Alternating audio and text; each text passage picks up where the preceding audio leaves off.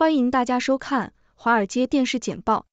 我们现在给大家播报的主要内容包括：澳大利亚暂停对中国葡萄酒关税的 WTO 案件；澳大利亚与中国达成葡萄酒协议，总理确定了北京之行的日期；利昂内尔、梅西在迈阿密国际队的首发阵容中出战 MLS 赛季最后一场比赛，对阵夏洛特。在创造五十米仰泳世界纪录的一天后，凯利。麦克昆超越了自己在一百米项目上的记录。中国同意在澳大利亚总理访问北京之前重新审查对澳大利亚葡萄酒的关税。请大家收看：澳大利亚暂停对中国葡萄酒关税的 WTO 案件。彭博社：澳大利亚宣布将暂停在世界贸易组织 WTO 对中国对葡萄酒进口征收关税的案件。中国将对其葡萄酒关税进行审查。预计需要五个月的时间。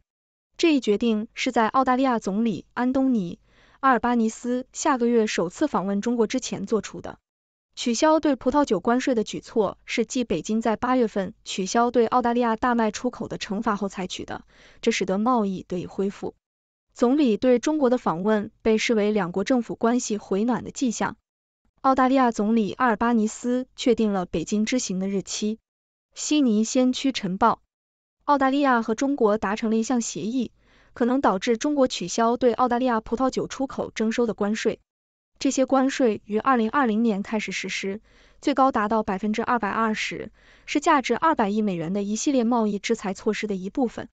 澳大利亚总理安东尼·阿尔巴尼斯证实了这项协议，并宣布他将在下个月访问中国，这是自二零一六年以来澳大利亚领导人首次访问中国。该协议涉及中国对葡萄酒关税进行加速审查，预计在五个月内做出决定。如果关税没有取消，澳大利亚将在世界贸易组织恢复行动。利昂内尔、梅西在迈阿密国际队的首发阵容中出战 MLS 赛季最后一场比赛，对阵夏洛特。美联社：利昂内尔。梅西将在迈阿密国际队对阵夏洛特足球俱乐部的最后一场美国职业足球大联盟比赛中首发出场。对于迈阿密来说，这场比赛毫无意义，因为他们未能进入季后赛。然而，夏洛特如果获胜，有机会确保一个季后赛名额。梅西在迈阿密上一场比赛中因国家队任务未能出场，但他表达了希望在赛季结束前再为球队效力一次的愿望。本赛季。梅西在十三场比赛中为迈阿密打入十一球。在创造五十米仰泳世界纪录的一天后，凯利·麦克昆超越了自己在一百米项目上的纪录。澳洲 ABC，澳大利亚游泳选手凯利·麦克昆在布达佩斯世界杯比赛中连续两天打破了两项世界纪录。这位二十二岁的选手在一百米仰泳项目上刷新了自己的纪录，缩短了零点一二秒，并且还打破了五十米仰泳的纪录。麦克昆现在有望获得整个世界杯系列赛的总冠军，并因创造世界纪录而获得了六万三千三百五十美元的奖金。她是第一位同时保持三项长池仰泳世界纪录的女选手。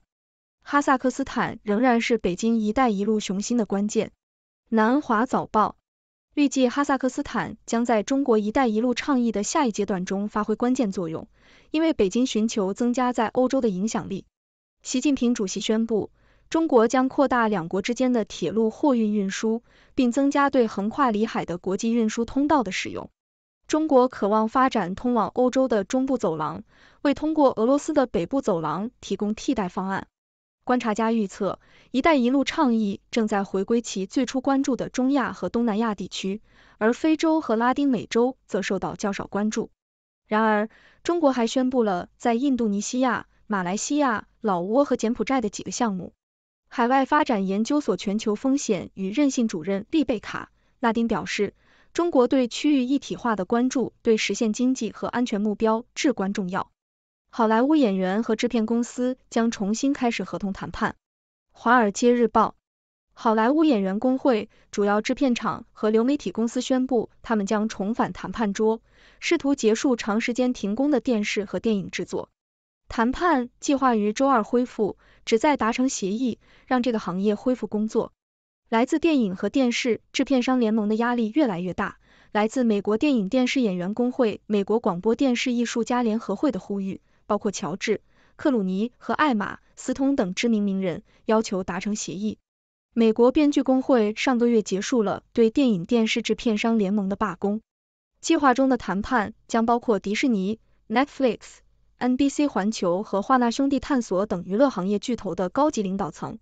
罢工对电影和电视制作时间表产生了重大影响，并对依赖娱乐业提供就业和收入的洛杉矶和其他地区造成了重大经济损失。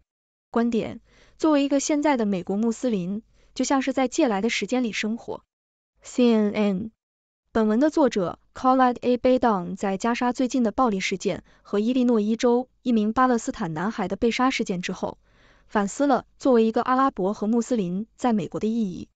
作者解释说，阿拉伯和穆斯林美国人不断被迫证明他们对美国的忠诚，他们的身份常常被与恐怖主义混为一谈。他描述了这种情况的荒谬性，感觉就像是没有出路的存在。作者认为，这不仅仅是伊斯兰恐惧症，而是一种更加繁重的负担，因为在面对怀疑和审查时，他们不断努力维护自己的人性。作者还强调了穆斯林在媒体中通常只被描绘为恶棍，很少被视为受害者。他呼吁改变对待阿拉伯和穆斯林美国人的方式，让他们能够在不断辩护自己的身份和证明忠诚的同时存在。北约海军上将表示。中俄关系的增长在北极地区带来风险上升。彭博社，北约对中国在俄罗斯北海航道上的航运以及中国可能利用其在北极地区的存在进行军事目的表示关切。北约军事委员会主席罗布鲍尔海军上将表示，中国船只上有军事科学家。鉴于中国与俄罗斯的密切关系以及在能源和交通方面的合作。北约对中国与俄罗斯的关系和在北极地区的意图表示关切。中国北极事务特别代表高峰并未直接回应这些评论，但呼吁在该地区进行合作。鲍尔还谈到了俄罗斯在北极地区的军事存在以及北约需要为该地区的冲突做好准备的必要性。拜登援引罗斯福的民主的军火库来推动军备制造。日经亚洲。乔·拜登总统在最近的椭圆形办公室演讲中提到了“民主的军火库”这个词，他试图说服全国支持乌克兰和以色列。拜登强调，美国工业基地正在全力以赴的补充武器库存，因为美国正在向乌克兰发送军事装备。这个词“民主的军火库”最早是由富兰克林·罗斯福总统在一九四零年使用的，他呼吁美国向英国和其他国家提供武器，以帮助捍卫民主。拜登的外交政策议程旨在推动全球民主，这依赖于紧急预算的批准。全球对电动汽车的推动正在以好坏两面的方式改变印度尼西亚人的生活。澳洲 ABC，印尼镍工业的迅速扩张，受全球电动汽车 EV 转型的推动，引发了对环境和社会影响的担忧。印尼莫罗瓦利工业园 IMIP 作为一个重要的镍加工设施。已经导致了库里萨渔村的变化。渔民们报告称，附近的 IMIP 导致海水变暖或鱼类数量下降。此外，村民们还抱怨煤尘污染影响了他们的餐具、盘子和家具。尽管存在这些担忧，但印尼的镍工业仍在继续增长，受到 EV 电池中使用的金属需求上升的推动。根据国际能源署 IEA 的数据，由于 EV 市场的需求。镍需求预计到二零三零年将至少增长百分之六十五。埃及在各方面都受到追逐，因为它对加沙难民的命运至关重要。彭博社，埃及在斡旋加沙和平以及其经济未来方面的角色都将受到考验，因为他考虑接纳巴勒斯坦难民。根据官员的说法，埃及与以色列有着长期的联系，以色列已与几个国家商谈，让埃及临时收容逃离加沙暴力的巴勒斯坦人。埃及已经接纳了来自叙利亚、苏丹、也门和利比亚的约九百万难民和移民。这个国家不太可能成为一个例外，接纳那些可能永远无法返回加沙的难民。华盛顿研究所的罗伯特·萨特洛夫表示，埃及的政治领导层认为接纳难民是一个不应该越过的红线。他补充说，他们宁愿面对日益恶化的财政困境，也不愿接纳大量难民。埃及可能会提供沙特阿拉伯在巴勒斯坦问题上的领导角色，以换取财政支持。危机集团的里卡多·法比亚尼表示，埃及可能会找到其他机会扮演调解角色，并得到回报。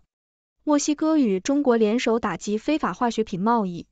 彭博社，墨西哥外交官和执法官员最近前往中国，讨论减少贩运化学品的方法。这些化学品被贩卖集团用来制造非法毒品。此次访问是在美国政府指责中国是墨西哥贩卖集团生产芬太尼的主要原料来源之后进行的。芬太尼是一种合成阿片类药物，导致了大量的过量死亡。墨西哥政府表示。此次访问表明，他们致力于与墨西哥和国际社会都受到的毒品危机做斗争。各位观众朋友们，大家好，我是来自六度世界的六博士。今天我们为大家带来了一系列的新闻，从中国和澳大利亚的贸易关系，到全球的体育赛事和国际政治。让我们一起来看看这些新闻有什么深入的分析和看法。首先，让我们谈谈中国和澳大利亚之间的贸易关系。澳大利亚暂停对中国葡萄酒征收关税的 WTO 案件是一个重要的转折点。这一决定为两国关系的回暖铺平了道路，也为两国的贸易合作提供了更多的可能性。这一举措表明，两国政府都希望通过合作来解决问题，而不是通过对抗来解决分歧。这对于两国的经济发展和人民的福祉都是一个好消息。同时，我们也看到了全球体育界的一些精彩时刻。利昂内尔·梅西在迈阿密国际队的最后一场比赛中首发出场，为球迷们带来了欢乐。他在这个赛季的表现非常出色，为迈阿密国际队贡献了很多进球。同时，我们还看到了游泳运动员凯利·麦克昆创造世界纪录的壮举。他在100米仰泳项目上打破了自己的纪录，并在50米仰泳项目上再次超越自己。这些运动员的努力和成就展示了人类的潜力和奋斗精神。此外，我们也关注到了一些国际政治和社会问题，例如，拜登总统引用了罗斯福的民主的军火库来推动军备制造，这表明美国对国际民主的支持。同时，我们也关注到了埃及在接纳加沙难民问题上的角色。这个问题对埃及来说非常重要，因为他们需要考虑到国家的经济和安全利益。最后，我们还看到了墨西哥和中国合作打击非法化学品贩运的努力。这是一个全球问题，需要全球合作来解决。总的来说，这些新闻向我们展示了世界的多样性和复杂性。不同国家之间的关系和合作在国际事务中起着重要作用。我们应该保持对这些问题的关注，并积极参与讨论和辩论。最后，我想邀请大家一起来参与讨论。你对这些新闻有什么样的想法？你对中国和澳大利亚的贸易关系有什么看法？你对利昂内尔、梅西和凯利、麦克昆的表现有什么评价？你对国际政治和社会问题有什么观点？欢迎大家留言讨论，我们一起来探讨这些问题。谢谢大家，谢谢您的收看。上面播报的内容是六度团队推荐的全球专业媒体智库。政府机构和行业专家的最新报道、分析简报，更详细的内容，请大家去这些媒体智库的网站阅读。这些内容并不一定反映六度简报的立场，亦不能作为任何决策的建议。六度团队由专业媒体人、学者、科学家组成的独立新型媒体，大家可以根据自己的专业要求订阅各种简报。网址是六度 brief 点 com。您在世界任何地方都可以通过电邮收到六度简报。